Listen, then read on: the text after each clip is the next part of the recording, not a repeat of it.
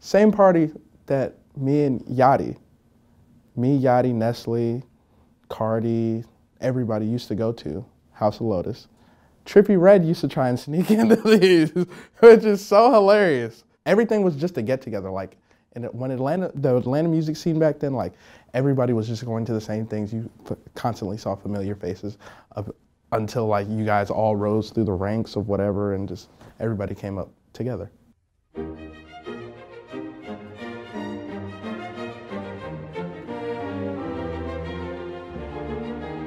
So Nessly came up with the name because I used to wear this fake Burberry scarf.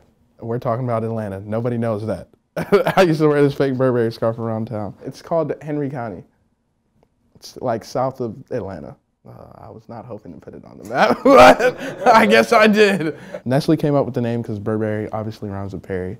After that, Yachty told me, I, I wasn't going to take the name serious, but Yachty told me I should take the name serious because everybody started calling me it, but I hated it at first because like it was just a nickname, but it kind of just stuck to me. So I grew to love it, and then Burberry came after me.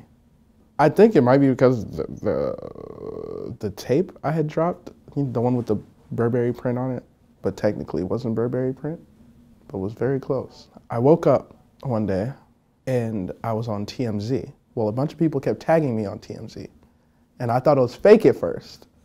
Till I went to the TMZ website and saw me at the top in like big bold letters.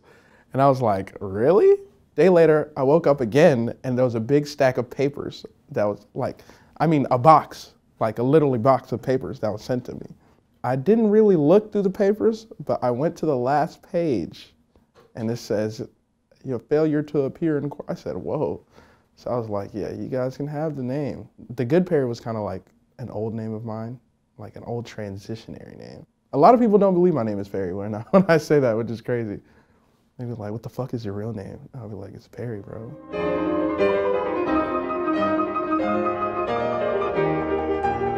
It was in January of, I don't know if it's 2016 or 2015, but it was in January one of those years. Coach hit us up and after that, everything kind of just changed. Nothing was the same after that. I bought like this little converter thing where you can like plug it in and then it turns into like uh, those wall plugs. Yeah, I was living in my car for a while before. I made one night in my car, Honda Civic Coupe 2006. But my mom reported the car stolen, so I left it at a gas station with the key on the, on the tire, and she has it now, or as I believe she does. I made it very quickly. I sent it to Yachty, and um, it was it was a, I think it was like his birthday gift for me, which is very ironic. Uh, met him at a party called House of Lotus, a very clouded spot. Well, used to be clouded spot in Atlanta. Like I was excited because it was like the only person to ever hop on my beat, a beat of mine at the time. I didn't know how to take it at first.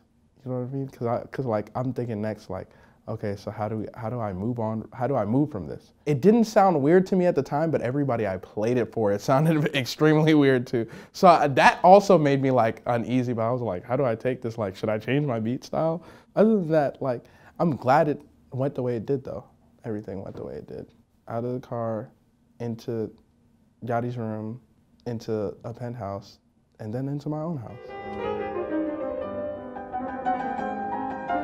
It's not really banter about spending money. It literally, out the song was done, and someone had called me to talk to me about like just to mumble on about something, and I kind of it was recording at the time, and I was like, oh fuck it, I'm just gonna keep it because it sounds cool. It's it's really about like old friends and old like girlfriends and stuff like that.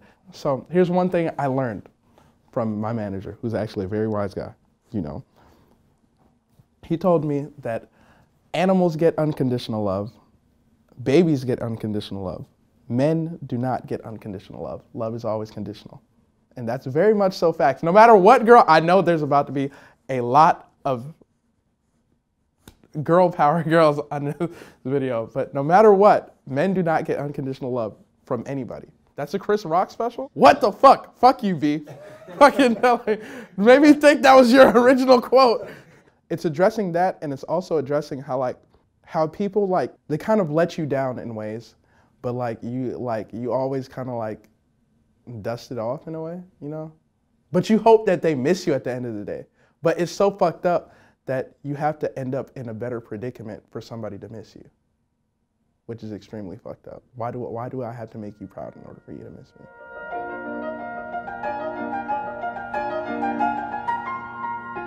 Everybody has their own form of self-medication, so don't like don't be like, yo, bro, you're fucking retarded. Like I see people under people's fucking pictures, you're fucking retarded, fucking stupid bitch. Stop drinking. Oh, can I say? Can I curse?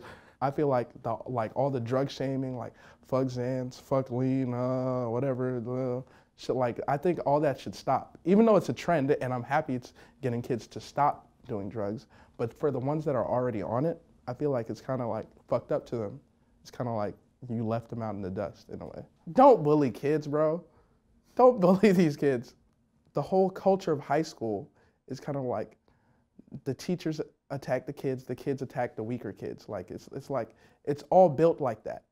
The best thing I can say is like just stop fucking with the kids that are like slightly more different than you.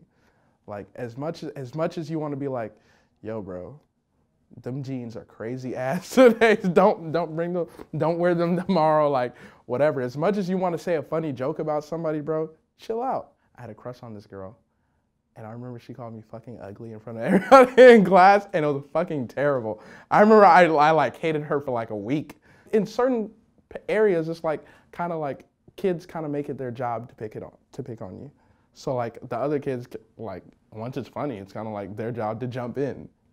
So it's, it's kind of fucking sucks. She has hit me up, which is very ridiculous. Every girl I've ever had a crush on all throughout school has hit me up. Make it home safe. Every day you leave home, you don't know if you're gonna make it home safe. And, and one day I was driving and I came up with the idea for Make It Home Safe while sitting in the car with my friend Nessly, because he was like, like names should be blunt but mean something, like the titles for certain things.